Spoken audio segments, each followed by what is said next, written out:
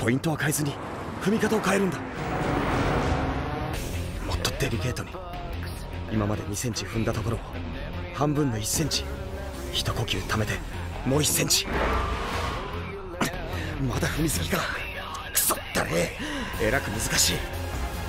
こんな微妙なアクセルワークにトライするのは初めてだ。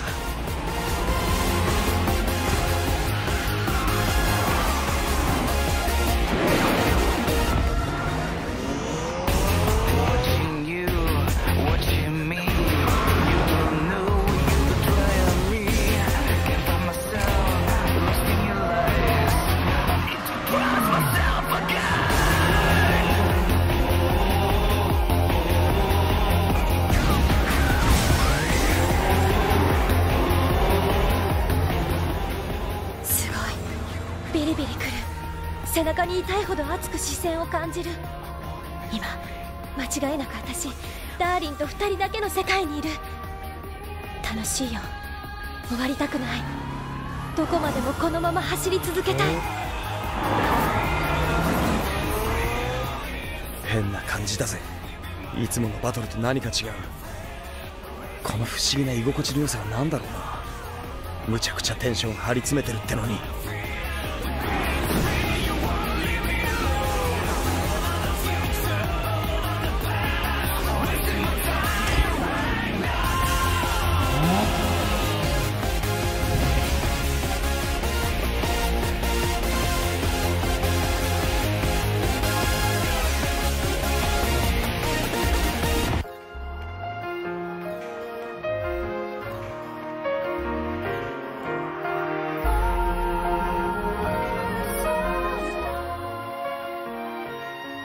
ゴールが近い。このまま行けば2本目に入れる。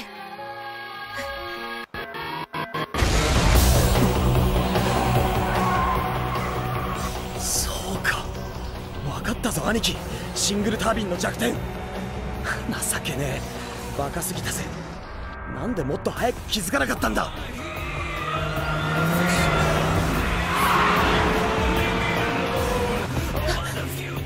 綺麗に走れてる時は確かに速いけど一旦それが乱れた時は脆さが出る。確信はねえけど多分シングルターボはピーキーなんだ。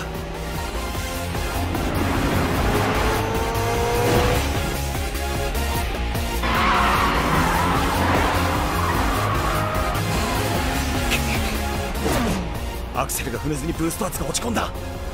よしタイムラグが少ないツインターボが物を言う時だぜ。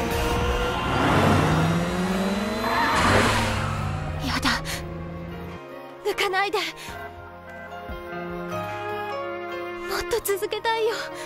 終わらせたくないの。行かないで。ダーリン